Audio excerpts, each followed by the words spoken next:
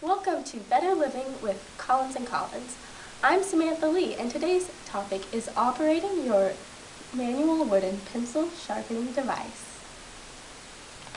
Collins and Collins warns viewers to only use these instructions with a wooden pencil and not a mechanical pencil or pen.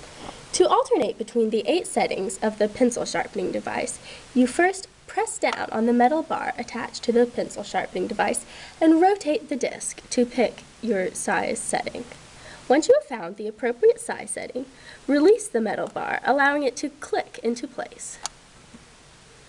Once you've chosen the appropriate size setting for your wooden pencil, you may now begin to sharpen it. First, placing it within the opening in the device, and then turning the lever a few times, checking every few turns as to whether your pencil is sharp or not. Now, the number of turns required will vary depending on your brand of pencil, age of manual wooden pencil sharpening device, and preferred level of sharpness.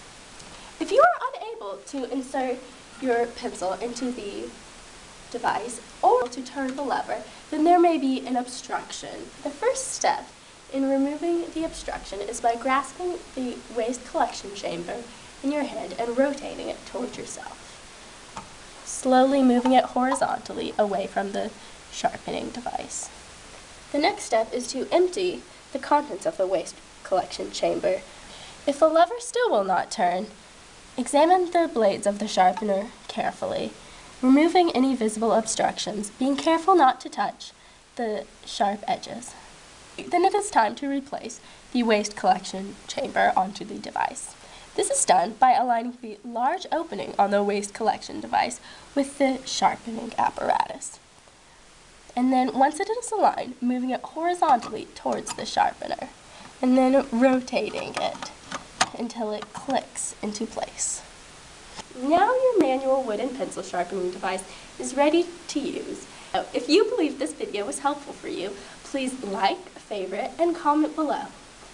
Remember to subscribe to and Collins for more instructional videos for better living.